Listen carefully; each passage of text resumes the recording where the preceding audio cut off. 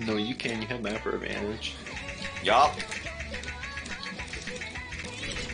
Basically gives you 9 times skill buff.